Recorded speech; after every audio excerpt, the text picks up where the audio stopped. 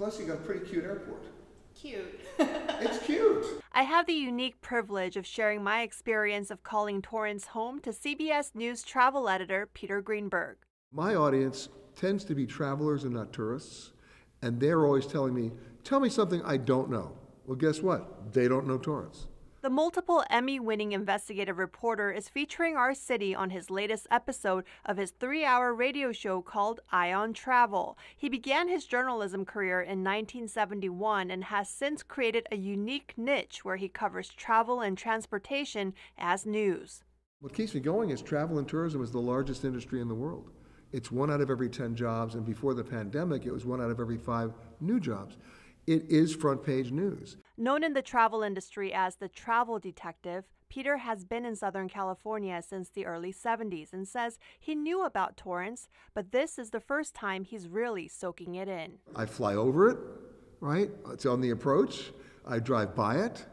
Uh, today I got a chance to turn off the 405 and actually spend some time here.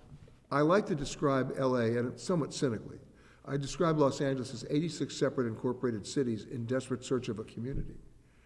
And it's when you come to a place like Torrance that you realize, hold on, I found one. Here's a community. And that's a big difference. It's inspiring to watch Peter interview person after person inside the Torrance Historical Society Museum and stitch together his show for a nationwide audience.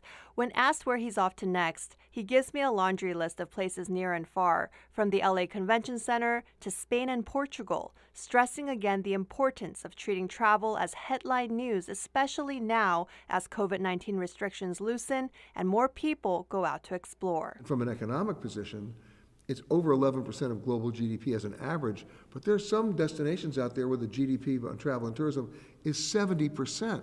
So that if you don't get that together, people don't eat. It's not just an economic driver, it can also kill you. You can tune into Peter's show by going to petergreenberg.com, clicking on listen, and then Eye on Travel. Back with more of Eye on Travel from Torrance right after this. I'm Christine Lee with Torrance CitiCABLE.